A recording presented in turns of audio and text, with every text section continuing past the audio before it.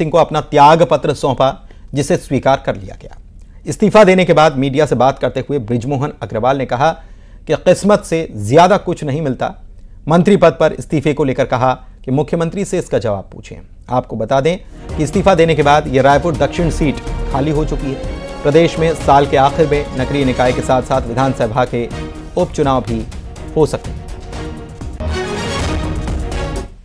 ब्रिजमोहन अग्रवाल जी ने इस्तीफा दे दिया हमारे साथ वो मौजूद हैं। इस्तीफा दिए जब आप सबसे बड़ी जीत जनता ने दर्ज कराई थी तो भी वो आपके साथ थे। इस्तीफा देने पहुँचे तो भी जनता आपके साथ नज़र आ रही है। निश्चित रूप से जनता का प्यार स्नेह आशीर्वाद अपनापन यही मेरी सबसे बड़ी ताकत है। डॉक्टर रमन सिंह ने अभी कहा कि सबसे अनुभवी नेता और जन नेता विधानसभा से जा रहे हैं एक भावुक पल है। उन्होंने भी आ, कहा कि उनके अनुभव का लाभ जो है अब विधानसभा को नहीं मिल पाएगा। निश्चित रूप से लगभग मैं मध्य प्रदेश और छत्तीसगढ़ की विधानसभा में रहकर 2000 से ज़्यादा विधायकों के साथ में हमने काम किया है और 35 साल से लगातार विधानसभा में काम किया है। तो जितने लोग भी साथ में रहे हैं, वो चाहे विरोधी हों, चाहे पक्ष के हों, सबके लिए मेरे पास में और उनका मेरे साथ में अपनापन था। और इसलिए उनको सबको इस बात का खलना स्वाभाविक है। ब्रिजमोहन अग्रवाल जी चाहे सरकार रही ना रही वो बड़े दायित्व में प्रदेश में बने रहे अब केंद्र की राजनीति कर रहे हैं भूमिका पर लगातार लोग अब सवाल कर रहे हैं। देश की 140 करोड़ जनता में 542 सांसद होते हैं तो उनमें से मैं एक हूँ। ये मेरे लिए सौभाग्य की बात है। तो ये थे ब्रिजमोहन अग्रवाल जी जो जिन्होंने कहा कि देश की सबसे बड़ी जो लोकसभा है उसमें लोकसभा में वो राजनीति करेंगे और जनता के जो मुद्दे हैं वो वो उठाते रहेंगे। कैमरामैन राजेंद्र सिंह के साथ आकाश शुक्ला न्यूज़ एटीन रायपुर छत्तीसगढ़। ब्रिजमोहन जी हमारे वरिष्ठ साथी और पैंतीस साल के विधानसभा का मध्य प्रदेश से लेकर छत्तीसगढ़ तक का अनुभव लगातार मंत्री पद का अनुभव और उसके साथ ही साथ उस सदन के लिए चुनाव इनका हुआ। पाँच लाख पचास हज़ार वोट से जीत के वो दिल्ली के लिए, लोकसभा के लिए जीत गए हैं। तो आज विधिवत तरीके से ब्रिजमोहन जी ने अपने छत्तीसगढ़ विधानसभा की सदस्यता से त्याग त्यागपत्र दिया है और उसको तुरंत स्वीकृत कर लिया। और भोपाल में न्यूज़ एटीन के खबर का बड़ा असर हुआ है। राजधानी में अब पेड़ नहीं काटे जाएँगे। तुलसी नगर और शिवाजी नगर में पेड़ नहीं काटे जाएँगे। यहाँ के लोग जो हैं, पेड़ों के साथ चिपको आंदोलन। आपको याद होगा, पेड़ ना काटने के लिए लोग पेड़ों से चिपक गए और एक संदेश दिया कि हम इन पेड़ों को नहीं काटने देंगे, क्योंकि हमारे जो बुज़ुर्ग हैं, उन्होंने ये सारे पेड़ लगाए।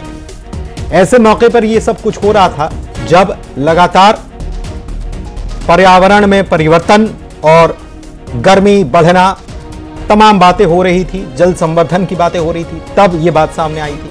और पेड़ों को काटने की सरकार ने अब योजना को टाल दिया। आपको बता दें, उनतीस हज़ार, जी हाँ, उनतीस हज़ार हरे भरे पेड़ पहले काटे जाने थे, लेकिन अब नहीं कटे। क्यों काटे जाने थे? मंत्रियों के बंगले बनाने के लिए यह योजना थी। लोगों ने इसको लेकर चिपको आंदोलन चलाया। भोपाल में न्यूज़ 18 की खबर का बड़ा असर अब देखा जा रहा है। तुलसी नगर शिवाजी नगर में पेड़ नहीं काटे जाते। मंत्रियों, विधायकों के बंगले बनाने की यहाँ पर प्लानिंग थी और इसीलिए ये उनतीस हज़ार पेड़ कट जाते।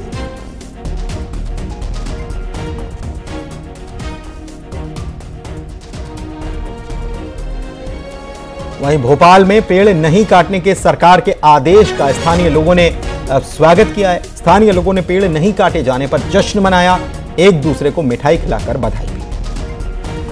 राजधानी भोपाल के शिवाजी नगर, तुलसी नगर इलाके से पेड़ जो काटे जाने थे, उसको लेकर आंदोलन चलाएगा और आंदोलन के बाद अब आप देख सकते हैं कि सरकार बैकफुट पर आई हो सरकार ने अपना जो प्रस्ताव है वापस ले लिया है। देखिए, रहवासियों में इतनी खुशी है कि मिठाई बांटी जा रही है, एक दूसरे को मिठाई भी खिलाई जा रही है। हमारे साथ मौजूद है गुड्डू चौहान जी। सर, कितनी बड़ी जीत, आज बड़ी खुशी मनाई जा रही है यहाँ पर? निश्चित रूप से बहुत बड़ी जीत है। जिस प्रकार से साठ हज़ार छह सौ पैंतालीस पेड़ जो सरकार के हिसाब से उनतीस हज़ार थे मेरे हिसाब से साठ हज़ार पैंतालीस थे। और मकानों को जिस प्रकार से लोग रह, रह रहे थे बरसों से रह रहे थे हमारी ये माता बहने सब शादी होकर आई थी इनके पहले के पेड़ हैं इनके बाप दादाओं ने पेड़ लगाए थे और इनको पेड़ों को बच्चों की तरह इन लोगों ने पाला। तो आज जिससे खुशी की बात है सरकार ने जो फैसला लिया है वो स्वागत योग्य कदम है। मैं सरकार का आभार मानता हूँ कैलाश विजयवर्गीय का आभार मानता हूँ। निश्चित रूप से एक अच्छा कदम है और जिस प्रकार से हरियाली को नष्ट होने से उन्होंने बचाया है मैं इस बात का स्वागत करता हूँ। आप लोग भी इस पूरे आंदोलन में शामिल रहे चिपको आंदोलन आप लोगों ने चलाया आप आपकी तो शब्द ही नहीं इतनी खुशी हो रही है कि, कि कुछ कह नहीं सकते हम लोग तो। देखिए और भी कुछ महिलाएँ उनसे बात करेंगे। आप लोग भी चिपको आंदोलन में रहे लड़ाई लड़ी आपने। हाँ हाँ हमें बहुत अच्छा लगा कि आज मतलब सरकार ने इतनी अच्छी मतलब हमारे लिए सोचा कि भैया पेड़ पौधे नहीं कट रहे हैं। पेड़ पौधे कट जाते हैं तो पूरी सुंदरता ही चली जाती भोपाल की। हम बहुत बहुत आभार है धन्यवाद देते हैं बहुत अच्छा लगा तो देखिए वो तमाम महिलाएँ हैं जिन्होंने लगातार आंदोलन चलाया और आंदोलन के बाद आज वो लोग खुशी मना रहे हैं कह रहे हैं कि उनकी जीत है और सरकार का आभार भी मान रहे हैं। कैमरा रजत तंवर के साथ सैलेंसिंग न्यूज़ एटीन भोपाल। अमरवाड़ा उपचुनाव से जुड़ी बड़ी खबर आपको बता देते हैं। उपचुनाव में गोंडवाना गणतंत्र पार्टी भी उतर गई है। हालाँकि कांग्रेस की तरफ़ से अभी ऐलान नहीं हुआ कि कांग्रेस की तरफ़ से प्रत्याशी कौन होगा, क्योंकि कांग्रेस की तरफ़ से पहले जिन्हें प्रत्याशी बनाया गया और जो विधान विधायक चुनकर गए थे, उन्होंने पार्टी छोड़ दी। बीजेपी ज्वाइन की, बीजेपी ने फिर से उन्हें प्रत्याशी बना दिया। लेकिन इस बीच गोंडवाना गणतंत्र पार्टी जो है, वो भी अपना उम्मीदवार उतारने वाली है। देवरावेन भलावी। जीजीपी यानी गोंडवाना गणतंत्र पार्टी के उम्मीदवार होने वाले बीजेपी से कमलेश शाह चुनावी मैदान में है ही। संपतिया उइके को प्रभारी यहाँ पर बनाया गया है। और गोंडवाना गणतंत्र पार्टी भी इस चुनाव में ताल ठोंकी नज़र आई।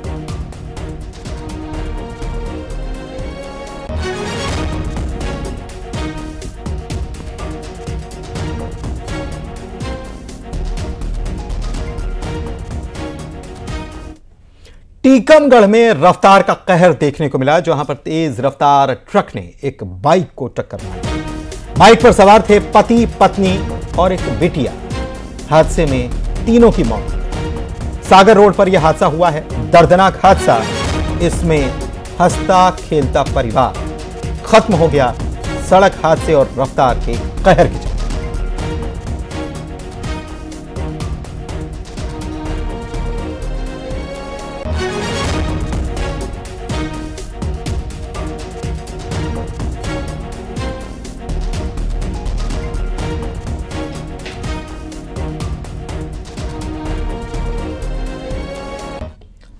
वहीं धार में सीमेंट फैक्ट्री में हादसा हुआ है, जहाँ पर मशीन के बेल्ट की चपेट में एक कर्मचारी आ गया और कर्मचारी ने मौके पर ही दम तोड़ दिया। सीमेंट फैक्ट्री का यह मामला बताया जा रहा है। इस घटना के बाद साथी और ग्रामीण जो हैं, वो नाराज़ हो गए और नाराज़ ग्रामीणों ने हंगामा खड़ा कर दिया।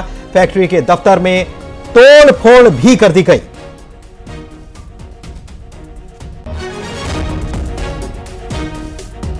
तो सीमेंट फैक्ट्री में यह हादसा हुआ।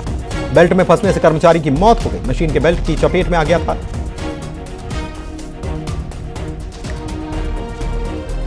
खबर भी धार से आपको बता रहे हैं, जहाँ पर एक प्रसूता को जिला अस्पताल से निकाल दिया गया। नवजात समेत प्रसूता को जिला अस्पताल से बाहर कर दिया गया। क्यों बाहर किया गया? परिजनों का यह आरोप है, अस्पताल के कर्मचारियों पर कि इन्होंने मांगे थे पैसे, परिजनों से। और पैसे नहीं दिए तो अस्पताल से बाहर कर दिया गया। एक प्रसूता और उसके नवजात बच्चे को। मामला पहुँचा सिविल सर्जन के पास। सिविल सर्जन ने मामला शांत कराया। बाद में महिला को फिर से वार्ड में शिफ्ट कर दिया गया। ये कई सारे सवाल इस घटना के बाद खड़े हो रहे हैं।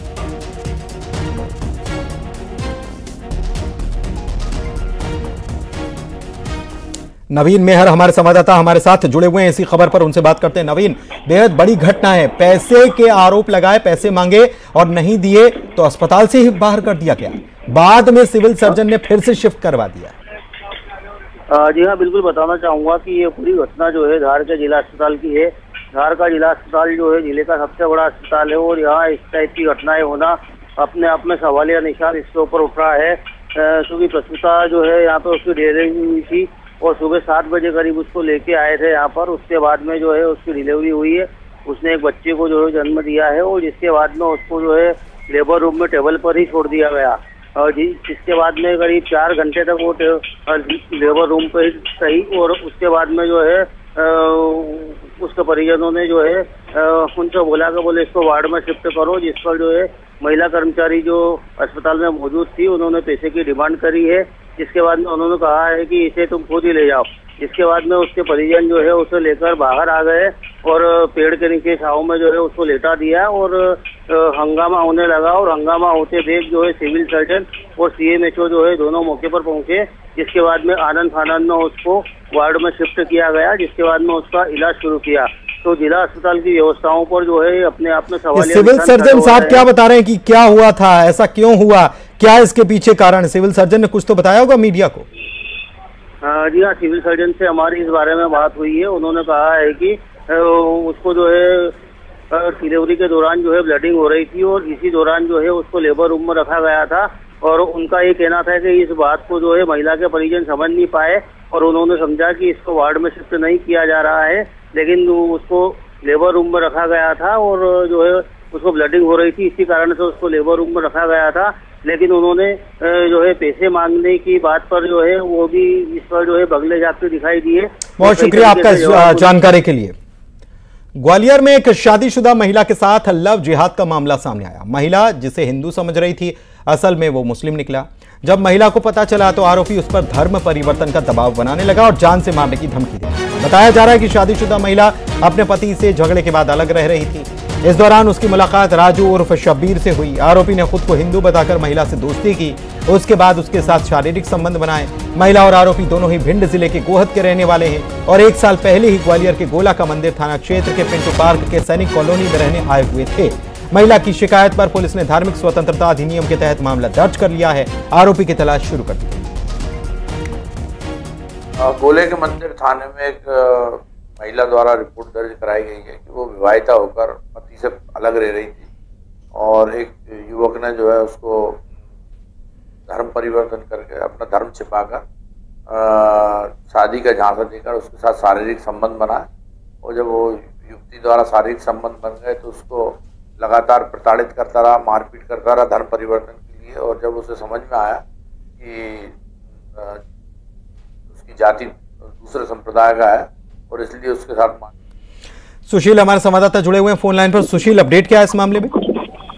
हाँ बिल्कुल देखिए गोहद की रहने वाली है महिला और जो युवक है वो भी गोहद का ही रहने वाला बताया जा रहा है। और आ, इस शादीशुदा विवाहिता का जब अपने पति से अलगा हुआ था तो इससे पहचान हुई थी युवक ने अपना नाम राजू बताया था।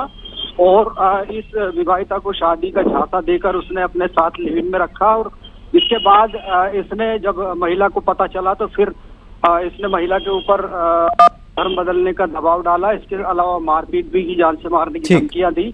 यही वजह है कि पीड़िता ने शिकायत दर्ज कराया। पुलिस अभी इस आरोपी की तलाश कर रही है। बहुत शुक्रिया आपका इस जानकारी के लिए सुशील। नीमच में लूटकांड का खुलासा हो गया। पुलिस ने इस मामले में दो आरोपियों को गिरफ़्तार कर लिया है और सीसीटीवी से पुलिस को सुराग मिले थे। 10 जून को एक वारदात अंजाम दी गई थी जिसके बाद पुलिस जाँच कर रही थी। व्यापारी से तीन लाख पचास हज़ार रुपए की लूट की वारदात अंजाम दी गई।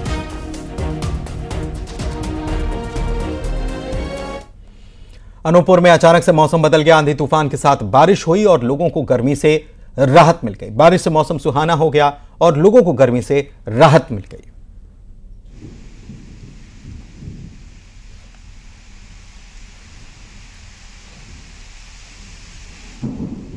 छतरपुर में प्री मानसून ने दस्तक दे दी है। तेज हवाओं के साथ झमाझम बारिश हुई और बारिश की वजह से लोगों को भीषण गर्मी से राहत मिल गई।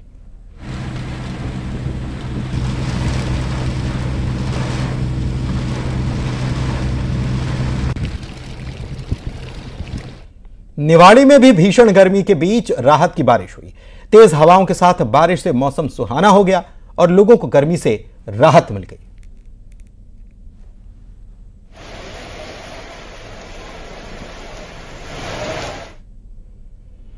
जम्मू कश्मीर के हंदवाड़ा में सुरक्षा बल को बड़ी कामयाबी हाथ लगी। हंदवाड़ा में हिजबुल के आतंकी को सुरक्षा बल ने गिरफ़्तार किया। आतंकी पर कश्मीर में कई टारगेट किलिंग में शामिल होने के आरोप। आतंकियों को पकड़ने के लिए लगातार सुरक्षा बल सर्च ऑपरेशन चलाए।